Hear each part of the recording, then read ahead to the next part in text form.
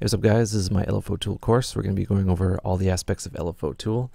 Uh, LFO Tool is a host syncable and free running modulation device.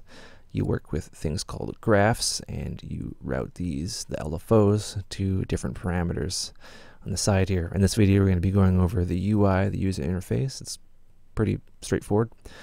We have our graph section here. We draw in our graphs and we have our rate down here.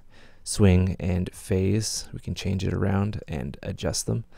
We have graph pages, 1 through 12, and what that does is you can use your MIDI keyboard to jump around between different modulations, so good for dubstep. Over to the left here, we have a filter, so it's kind of a, an esoteric under the hood aspect that not a lot of people know about is there's a lot of different filters. It's an excellent filter tool uh, with drive and uh, different comb filters.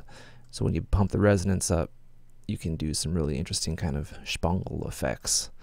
Uh, and there's even some interesting ones like formant, which we'll get into, and reverb, which takes an impulse response and applies that to a filter, which is pretty cool. Uh, you have your MIDI section here, which we, will probably get into uh, scope, which we'll get into, and uh, our routing here. So each page can be routed to a different parameter. For example, cutoff or volume, and uh, that's how the auto filter or sidechain compression works. Uh, we can split it with a crossover, so you get multi-band compression.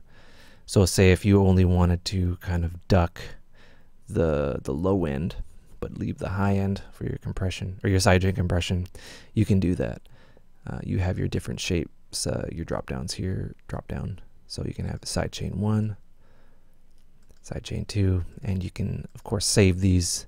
And uh, yeah, that is the intro and UI for LFO tool.